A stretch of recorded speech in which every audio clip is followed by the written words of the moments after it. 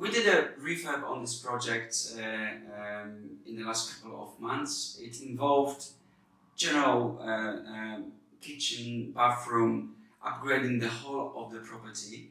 Halfway through the project, uh, our investor decided to uh, insulate property in, internally and externally and doing the floors, mainly because of the uh, changes which are coming in 2025 and maybe 2030.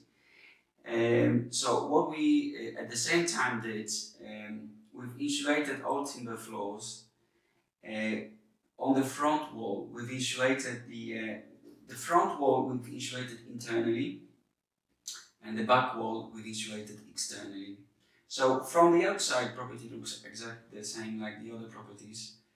Uh, we just painted the render. Uh, it looks differently at the back, and then uh, by carefully looking at the uh, details, you can notice, you know, that it's been in insulated internally on the front wall.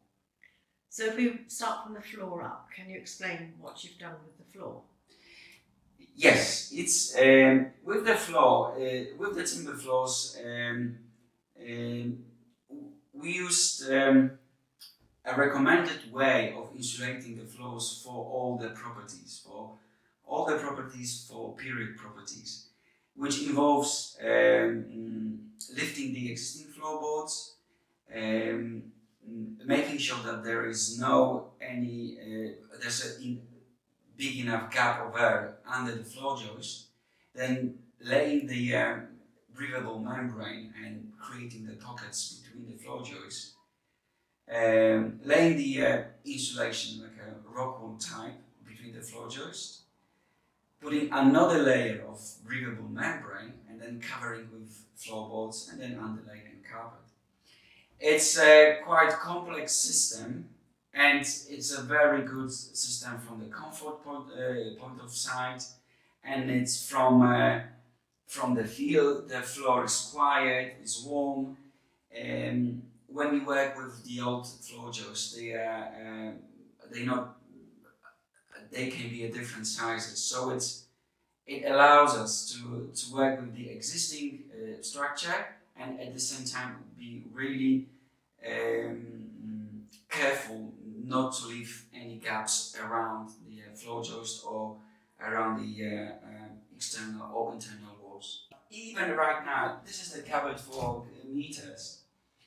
What's visible here is that it's um, is the breathable membrane, which is directly below the floorboards, and the uh, insulation we use between the floor joists.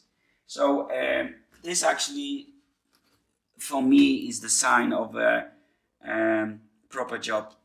That it's uh, all the gaps all around the perimeter of the room uh, they've been sealed.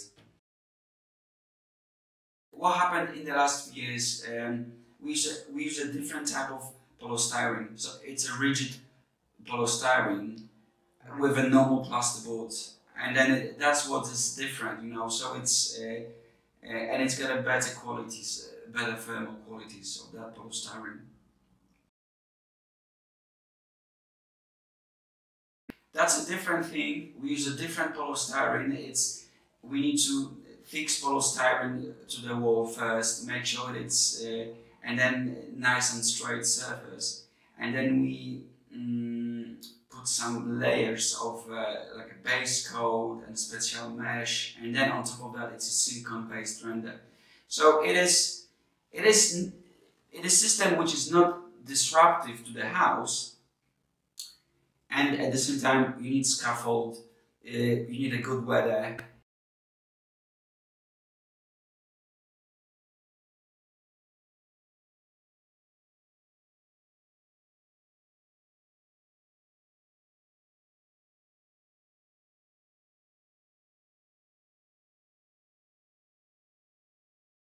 you know, you have to ask yourself a question, can I skin the wall? Can I fit the plasterboards to a, a, a good standard? And do I know really what is the right way of, uh, uh, what is the right sequence and system for insulating floors and walls? from my experience, it would be quite difficult to do it on your own. It's not a DIY project.